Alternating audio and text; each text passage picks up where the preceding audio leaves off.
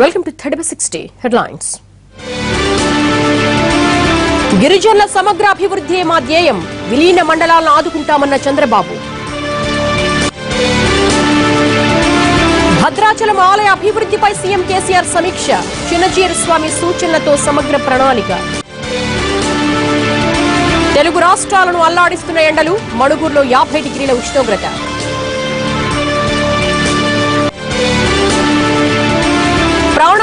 కుటుంబ కలహాలు శ్రీకాకుళం జిల్లాలో ఇద్దరు పిల్లలతో కలిసి తల్లి ఆత్మహత్య.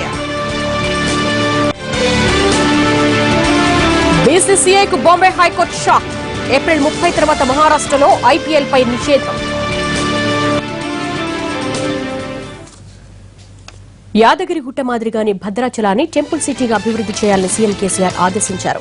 విశాలమైన ఉద్యానవనాలు సౌకర్యాలతో కూడిన కాటేజీలు నిర్మించాలని సూచించారు. చిన్నజీయర్ స్వామి సూచనతో సమగ్ర ప్రణాళిక రూపొందించాలన్నారు.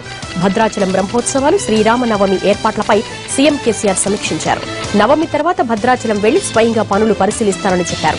బాసర నుంచి భద్రాచలం వరకు ఉన్న ఆలయాలు అన్నిటినీ అభివృద్ధి చేసేందుకు ప్లాన్ చేయాలని కేసీఆర్ అధికారులకు సూచించారు.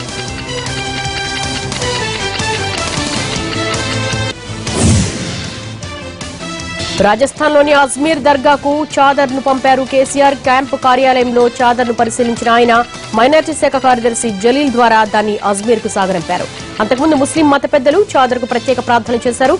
గత ఐదు రోజుల నుంచి జరుగుతున్న దర్గా ఉత్సవాలు రేపటితో ముగియనున్నాయి.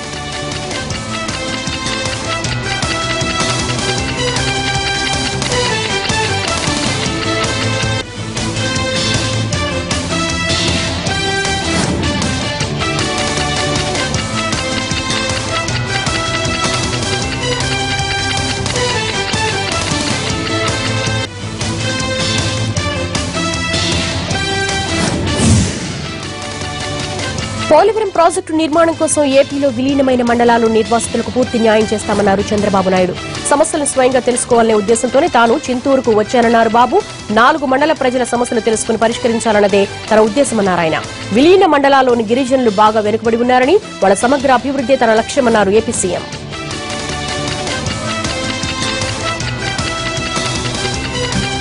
వారిని సాధారణంగా వేదికపైకి ఆహ్వానిస్తున్నాం. అలాగే శ్రీమతి వంతల రాజేశ్వరి రంపచోడవరం ఎమ్మెల్యే గారిని సాదరంగా వేదికపైకి ఆహ్వానిస్తున్నాం. రాష్ట్ర సాంఘిక సంక్షేమ మరియు గిరిజన సంక్షేమ శాఖ మాచులు శ్రీ రావల అనారోగ్యం పౌష్టికాహార సమస్యలు అనేక సమస్యలు ఉండే పరిస్థితి వస్తుంది. అందుకే నేను చెప్పాను దీనికి ఒక ప్రత్యేకమైన శ్రద్ధ పెడదాం. ఈ నాలుగు మండలాలు ఇక్కడున్నాయి పక్కన మూడు మండలాలు ఉన్నాయి ఏవైతే విలీన మండలాలు ఉన్నాయో ఈ ఏడు మండలాలకి ప్రత్యేకమైనటువంటి శ్రద్ధ పెట్టి మీ ఏ ఒక్కరూ ఇబ్బంది కాకుండా పూర్తిగా న్యాయం చేసే బాధ్యత మిమ్మల్ని ఆదుకునే బాధ్యత నేను తీసుకుంటానని మరొక్కసారి మీ అందరికీ ఆమె ఇస్తున్నా. మీ యొక్క సమస్యలు తెలుసుకోవాలని ఇక్కడికి వచ్చాను. ఏదో అమరావతి నుండి కాకుండా చింతూరుకు వస్తే నాలుగు మండలాలకు సంబంధించి ప్రజల సమస్యలు ఏమున్నాయి? ఏ విధంగా పరిష్కారం చేస్తే మీకు న్యాయం జరుగుతుందో దాన్ని ఆలోచించడానికి పరిష్కారం చేయడానికి వచ్చాను. ఇక్కడ గిరిజనులు ఉన్నారు. వ్యవసాయం కూడా ఎక్కువగా చేసుకుంటున్నారు. అడవులపైన ఆధారపడ్డారు. ఒక పక్క పిల్లల్ని బాగా చదివించడం చదువుకున్న పిల్లలకు ఉద్యోగాలు చేయడం ఇక్కడ ఉండే వాళ్ళకి సంక్షేమ కార్యక్రమాలు ఎక్కువగా అందుబాటులో పెట్టడం దీర్ఘకాలంలో సంక్షేమ కార్యక్రమాలే కాకుండా మీ అందరికి కూడా న్యాయం జరిగేట్టుగా ఆదాయం పెంచే కార్యక్రమం కూడా చూడాలి. Makthal Congress MLA Chittem Rammohan Reddy TRS తీర్థం పుచ్చుకున్నారు. క్యాంప్ ఆఫీసులో సీఎంను కలిసిన చిట్టెంకు సాదర స్వాగతం పలికారు. మహబూబ్నగర్ జిల్లా మంత్రి లక్ష్మారెడ్డి జిల్లా ఎమ్మెల్యేలు చిట్టెం వెంట ఉన్నారు. అభివృద్ధిని చూసే టీఆర్ఎస్లో చేరారని తనపై ఎవరి ఒత్తిడి లేదన్నారు. సోదరి డీకే అరుణ మాత్రం టీఆర్ఎస్లోకి రారని చెప్పారు. రామ్మోహన్ రెడ్డి మక్తల్ నియోజకవర్గ ఎమ్మెల్యే మన రాష్ట్ర ముఖ్యమంత్రి గారిని కలవడానికి రావడం. ఎందుకంటే వారు చేస్తున్న అభివృద్ధి కార్యక్రమాలు కానీ మా జిల్లా అభివృద్ధి కార్యక్రమాలను చూసి మా మక్తల్ తాలూకాను కూడా పెద్ద ఎత్తున అభివృద్ధి కార్యక్రమాలు తీసుకెళ్ళాలని ఒక తపన మాకు కానీ మా కుటుంబానికి కానీ ఎప్పటి నుంచో ఉంది. ఈరోజు మేము అన్నీ వారిపైన బరువు బాధ్యతలు పెట్టి ఈరోజు వారి సమక్షంలో టీఆర్ఎస్ పార్టీలకు రావడం జరిగింది. మీతో పాటు మీ సోదరి అరుణ గారు వస్తున్నారు. రారు. రారు. ఇప్పటి వరకు కూడా ఈ రెండేళ్ళ సంవత్సరంలో కూడా ప్రభుత్వం చేపట్టిన అభివృద్ధి కార్యక్రమాలు చాలా పాల్పంచుకున్నాను నేను. దగ్గరుండి చేయించుకున్నాను నా కాన్సెన్స్కి అట్లా ఆ విధంగా నేను ముందుకు వచ్చాను. అంతేగాని ఎవరు ఇప్పుడు నన్ను బలోపేతం పెట్టింది లేదు. టీఆర్ఎస్ ఏ పార్టీని టార్గెట్ చేయలేదన్నారు మంత్రి లక్ష్మారెడ్డి. మిగిలిన ఎమ్మెల్యేల మాదిరిగానే చిట్టెం రామ్మోహన్ రెడ్డి కూడా అభివృద్ధిని చూసి టీఆర్ఎస్లో చేరారని అన్నారు. ప్రతిపక్షాలు ఎలాంటి పాత్ర పోషిస్తున్నాయో ప్రజలు గమనిస్తున్నారని చెప్పారు. అభివృద్ధి కోరుకుంటున్న వారే తమతో చేతులు కలుపుతున్నారని చెప్పారు మంత్రి లక్ష్మారెడ్డి. ఈ రాష్ట్రాన్ని బాగుపరచాలనేది ముఖ్యమంత్రి గారు కేసీఆర్ గారి ఆలోచన. ఆ దిశగా అందరు కలిసి రావాలనేది ఆలోచన తప్ప ఏ పార్టీ కాల్ చేస్తే మాకు వచ్చేది లేదు. ఏ పార్టీలు ఏముంటాయని ప్రజలకంతా తెలుసు. ఏ పార్టీ పరిస్థితి ఏందనేది టీడీపీ పరిస్థితి ఏంది కాంగ్రెస్ పరిస్థితి ఏందనేది మనం అందరం చూస్తా ఉన్నాం ప్రజలకు తెలుసు. ఇప్పుడు కేవలం అభివృద్ధి కోరుకునే వారు మా పార్టీకి వస్తూ ఉన్నారు. అభివృద్ధి కావాలనుకునే వాళ్ళు వస్తుంది తప్ప మేము బలవంతంగా ఎవరికి పిలిచింది లేదు. తెలంగాణ సెక్రటేరియట్లో కమల్నాథ్ కమిటీ ముందు అసిస్టెంట్ సెక్షన్ ఆఫీసర్లు ఆందోళన చేశారు. ఉద్యోగుల విభజన ప్రక్రియ తక్షణమే పూర్తి చేసి తమను తెలంగాణకు కేటాయించాలని డిమాండ్ చేశారు. తమ తెలంగాణ ప్రాంతానికి చెందిన వాళ్ళమైన రెండేళ్ళుగా ఏపీ సెక్రటేరియట్లో పనిచేయాల్సి రావడంపై ఆగ్రహం వ్యక్తం చేశారు.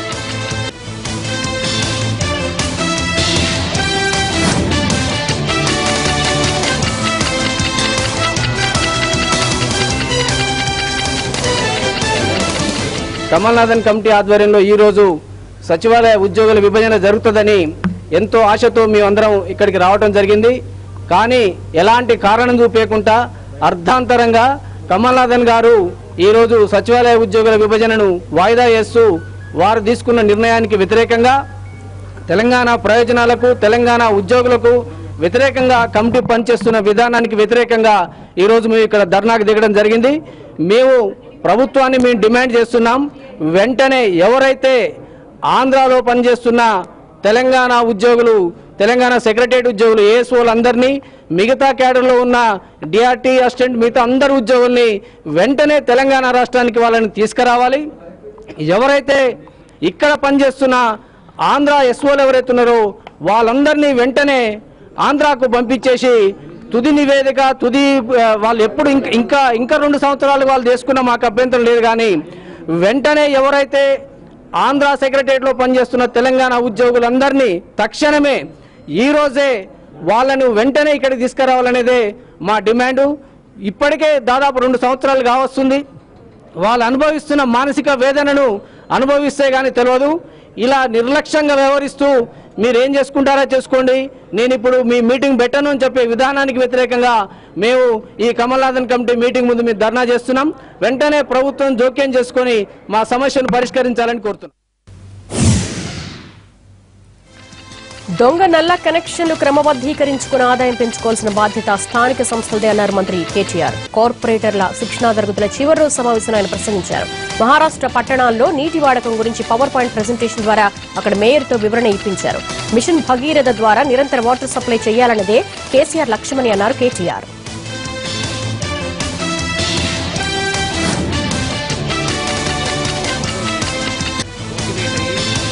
ఆలోచన మిషన్ భగీరథ ద్వారా మనం నీళ్ళిచ్చే క్రమంలో కేవలం రోజుకు ఒక గంటనో రెండు గంటలో పంపింగ్ అన్నట్టు కాకుండా ట్వంటీ ఫోర్ బై సెవెన్ ఇవ్వాలన్నది ఆయన ఆలోచన.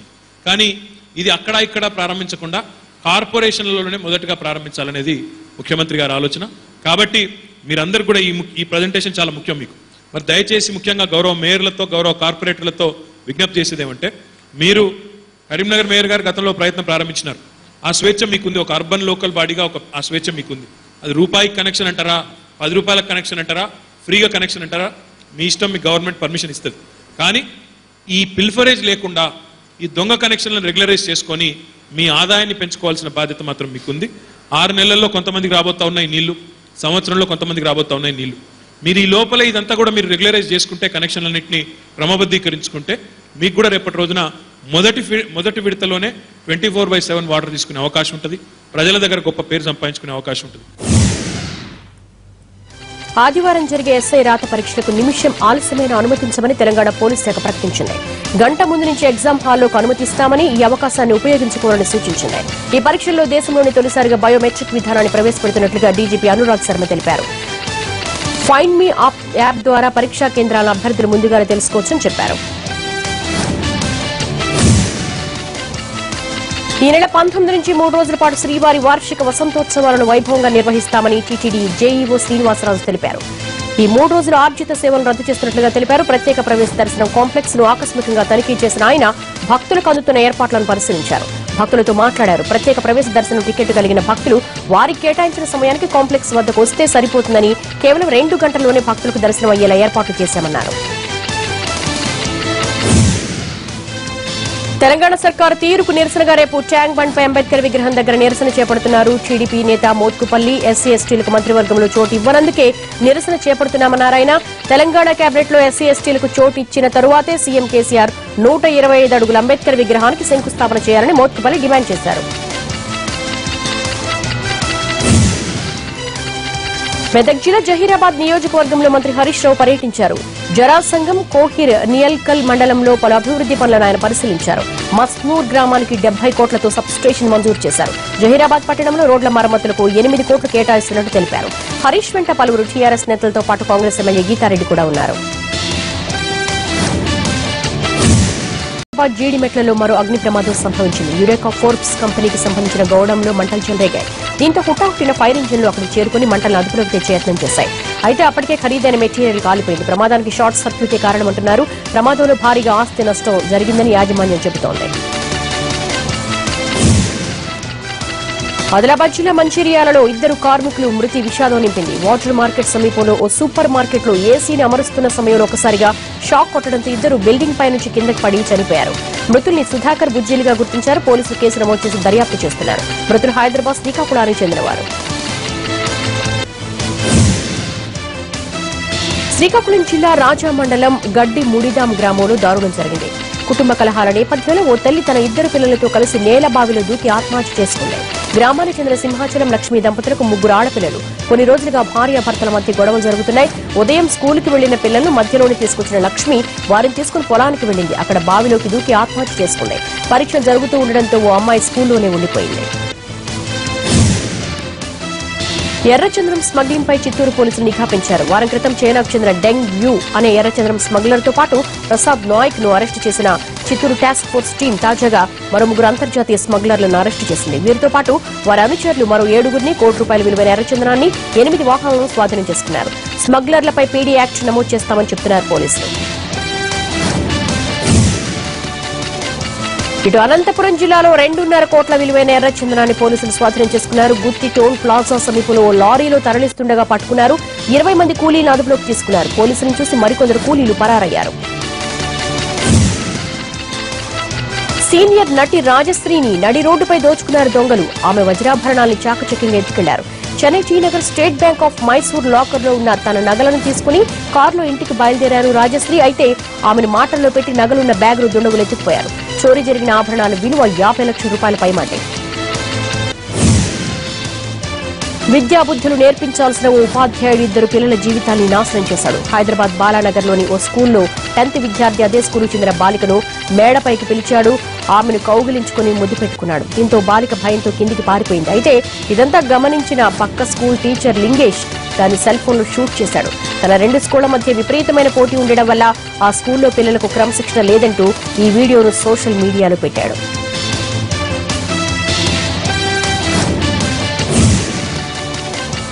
ఈ వీడియో బాలానగరంతటా వ్యాపించింది. దాన్ని చూసిన ఇద్దరు మీడియా ప్రతినిధులు రెండు స్కూళ్ళ యాజమాన్యాలను బెదిరించారు. విషయం బయటకు పోకకుండా చూస్తామంటూ డబ్బులు గుంజుకెళ్ళారు. కానీ విషయం బాలిక తల్లిదండ్రులకు తెలియడంతో పోలీసులు ఆశ్రయించారు. టెన్త్ విద్యార్థితో పాటు వీడియోను సర్క్యులేట్ చేసిన టీచర్ లింగేష్ స్కూల్ యాజమాన్యాల దగ్గర డబ్బులు తీసుకున్న మీడియా ప్రతినిధుల్ని కటకటాల వెనక్కు నెట్టారు పోలీసులు. బాలిక జీవితంతో ఆడుకున్న ఈ నలుగురిని కఠినంగా శిక్షించాలని డిమాండ్ చేస్తున్నాయి మహిళా సంఘాలు. ఈ నెల పదిహేడు నుంచి జరగనున్న సింహాద్రి అప్పన్న కళ్యాణోత్సవాలకు సింహగిరి ముస్తాబోతోంది ఉగాది రోజు పెళ్ళి రాట వేసిన అధికారులు ఏర్పాట్లను ముమ్మరం చేశారు. భక్తులకు ఇబ్బందులు కలగకుండా జాగ్రత్తలు తీసుకుంటున్నారు. ఆలయానికి రంగులు వేయిస్తున్నారు. కళ్యాణం నిర్వహించే నృసింహ మండప ప్రాంగణం పచ్చదనంతో ఆహ్లాదకరంగా దర్శనమిస్తోంది. పదిహేడు రాత్రి అంకురార్పణతో మొదలయ్యే కళ్యాణోత్సవాలు ఇరవై మూడవ తేదీన జరిగే పుష్పాంజలి సేవతో ముగుస్తాయి. సుమారు పది నుండి పదిహేను వేల మంది భక్తులు స్వామివారి కళ్యాణాన్ని ప్రత్యక్షంగా తిలకించేందుకు వస్తారని అంచనా వేస్తున్నారు. జమ్మూ కాశ్మీర్ ముఖ్యమంత్రి మహబూబా ముఫ్తీ ప్రధాని నరేంద్ర మోడీతో సమావేశమయ్యారు. రాష్ట్రంలో శాంతి భద్రతల అంశం సహా పలు అంశాలపై చర్చించారు. మర్యాదపూర్వకంగా మోదీని కలిసినట్లుగా తెలిపారు ముఫ్తీ.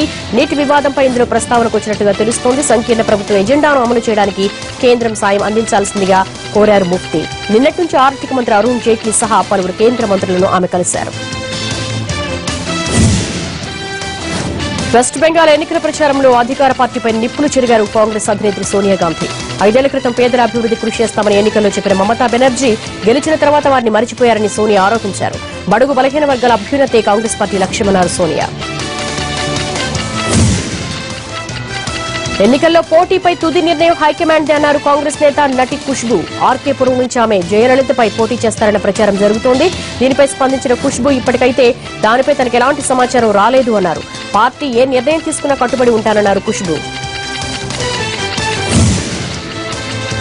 బ్రిటన్ రాకుమారుడు విలియం ఆయన భార్య కేట్ అస్సోంను పర్యటిస్తున్నారు. మొదట ఖడ్గమృగాలకు ప్రఖ్యాతి పొందిన కజిరింకా జాతీయ పార్కును సందర్శించిన ఆ జంట తర్వాత స్థానిక గ్రామాలను పర్యటించారు. వన్యప్రాణులతో వారి కలిగే ఇబ్బందులు వాటిని ఎలా ఎదుర్కొంటున్నారనే విషయంపై గ్రామస్తులతో మాట్లాడారు. అస్సోంలో రెండు రోజుల పాటు పర్యటించనున్న ఈ ప్రిన్స్ జంట కజిరింకా పార్క్ సమీపంలోని ది ఫ్లూ రివర్ లాడ్జ్లో బస చేశారు. కింగ్ ఫిషర్ అధినేత విజయ్ మాల్యా చుట్టూ ఈడీ ఉత్సు బిగుస్తోంది. ఇప్పటికే మూడు సార్లు నోటీసులు అందజేసిన మాల్యా స్పందించకపోవడంతో ఒక్కొక్కటిగా దారులు మూసిపోతున్నాయి. మాల్యా పాస్పోర్టు రద్దు చేయాలంటూ ఈడీ నోటీసులు జారీ చేసింది. మూడు సార్లు విచారణకు గైర్హాజరవడంతో ఈడీ ఈ చర్యలు తీసుకుంది. దీంతో పాటు మాల్యాపై నాన్ బయలబుల్ వారెంట్లు జారీ చేసే అవకాశం ఉంది. అటవీ ప్రాంతంలోంచి ఊర్లోకి వచ్చిన ఓ చిరుత అందరినీ హడలెత్తించింది. ఉత్తరప్రదేశ్లోని మీరట్లో ఈ ఘటన జరిగింది. స్థానిక అటవీ ప్రాంతం నుంచి నీటి కోసం చిరుత జనావాసాల్లోకి వచ్చింది. అయితే మనుషులు కంటపడగానే వారి మీద దాడి చేసిన అంతా కలిసి తరమడంతో పక్కనే ఉన్న బిల్డింగ్లోకి వెళ్ళిపోయింది చిరుత దాడిలో ఒకరు తీవ్రంగా గాయపడ్డారు. ఇంట్లో ఎవరైనా అదృశ్యమైనా తప్పిపోయినా ఆచూకీ తెలిస్తే చెప్పండి. పారితోషికం ఇస్తామంటూ పాంప్లెంట్లు ఎక్కడికక్కడ అతికించడం చూశారు. కానీ వారణాసిలో కాస్త వెరైటీ కంప్లైంట్ పోలీసులకు వచ్చింది. తమ ఎద్దు మిస్ అయిందంటూ ఓ వ్యక్తి పోలీసులను ఆశ్రయించాడు. అంతేకాదు దాన్ని కనిపెట్టి తెచ్చిన వారికి ఇంకా యాభై వేలు ఇస్తారంటూ ప్రకటించాడు ఆ ఎద్దు యజమాని. తమ కుటుంబంలో వ్యక్తిగా చూసుకుని మూగజీవి తప్పిపోవడంతో అంత పెద్ద మొత్తాన్ని ప్రకటించారని అంటున్నాడు సదరు వ్యక్తి. ఇరవై ఐదు అడుగుల పొడవు ఐదు వందల యాభై పౌండ్ల బరువున్న భారీ కొండ చెరువును మలేషియాలో కనుగొన్నారు. ఓ భవన నిర్మాణ ప్రాంతంలో ఇది బయటపడింది. వైల్డ్ లైఫ్ అధికారులు వచ్చే వరకు దాన్ని ఓ ప్రత్యేకమైన ప్రాంతంలో ఉంచి సంరక్షించారు. అయితే మూడు రోజుల తర్వాత ఆ భారీ పైథాన్ ఓ గుడ్డు పెట్టి చనిపోయింది. ఇప్పటి వరకు కనుగొన్న కొండ చెరువును ఇది రెండో అతిపెద్దదిగా చెప్తున్నారు.